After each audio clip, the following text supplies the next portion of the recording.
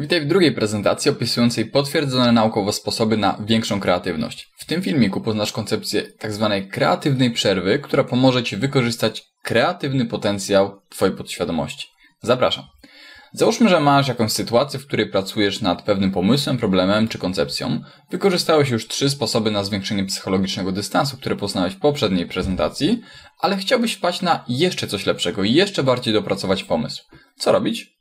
To jest właśnie moment, moment, w którym warto zaprzęgnąć do pracy naszą pomysłową podświadomość. To badanie pokazało, że po pracy nad jakimś określonym zagadnieniem, gdy zrobisz sobie przerwę, to wracając później do tego samego zagadnienia, masz już dużo większą szansę na odkrycie rozwiązania czy wpadnięcie na pomysł, który wcześniej umknął Twojej uwadze.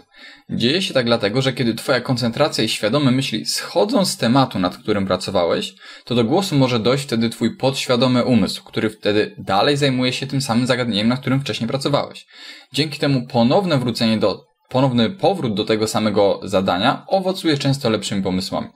Ten proces nazywa się inkubacją. Znasz go na pewno z własnego doświadczenia, kiedy bardzo dobre pomysły wpadały ci do głowy często nie wtedy, kiedy pracowałeś nad danym zadaniem, tylko właśnie kiedy robiłeś coś innego. Na przykład jechałeś samochodem, a tu nagle bach, rozwiązanie problemu, o którym rano myślałeś. Bywa, prawda? Jednak badanie, które Ci przytoczyłem, sprawdzało coś jeszcze. Otóż ponieważ sama inkubacja, czyli wpadanie na lepsze pomysły podczas lub po przerwie w pracy, to jest dosyć dobrze znanym zjawiskiem, to chciano sprawdzić, co najlepiej robić w takich przerwach, aby zmaksymalizować efekt, in, in, efekt inkubacji. Czy lepiej na przykład zaangażować się w jakieś trudne zadanie, które będzie wymagało od nas sporej koncentracji, czy niemałego wysiłku intelektualnego, a może lepsze efekty dadzą czynności, które pozwalają na błądzenie myślami, czy może po prostu zwykły odpoczynek, podczas którego nic nie robimy. Jak sądzisz?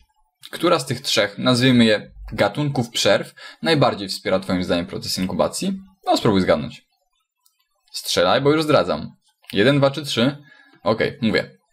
Okazało się, że najlepsze na przerwę wzmagającą kreatywność są zadania pozwalające ci błądzić myślami z dala od problemu, którym się wcześniej zajmowałeś czy zajmowałaś. Czyli jednak, no coś rzeczywiście jest w tym, że na dobre pomysły wpadamy często pod prysznicem czy prowadząc samochód. Jednak, żeby jeszcze dopalić efektywność takiej przerwy, przyjrzymy się jeszcze badaniu sprawdzającemu to, jak kolory wpływają na naszą kreatywność. W tym eksperymencie dowiedziono, że nawet kilkusekundowy kontakt z kolorem zielonym w jakiś nie do końca pewny sposób pomaga nam stawać się bardziej pomysłowymi i kreatywnymi osobami.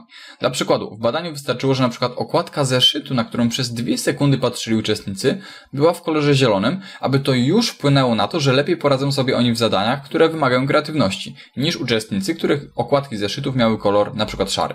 Niezłe, co?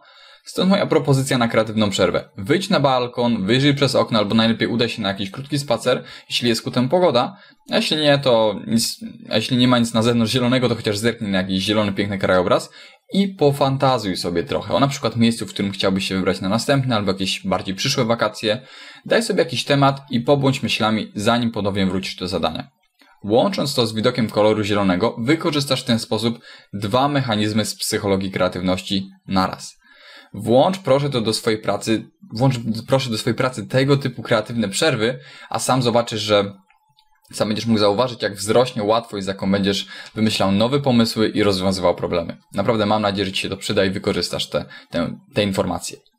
A w następnej prezentacji dowiesz się, o jakiej porze dnia Twoja pomysłowość, kreatywność i zdolność nieszablonowego myślenia osiąga swój szczyt. Zdradzę Ci teraz tylko, że odpowiedź jest trochę zaskakująca i nie taka, jak się na pierwszy rzut oka wydaje ale to w następnej prezentacji. Pozdrawiam, do usłyszenia.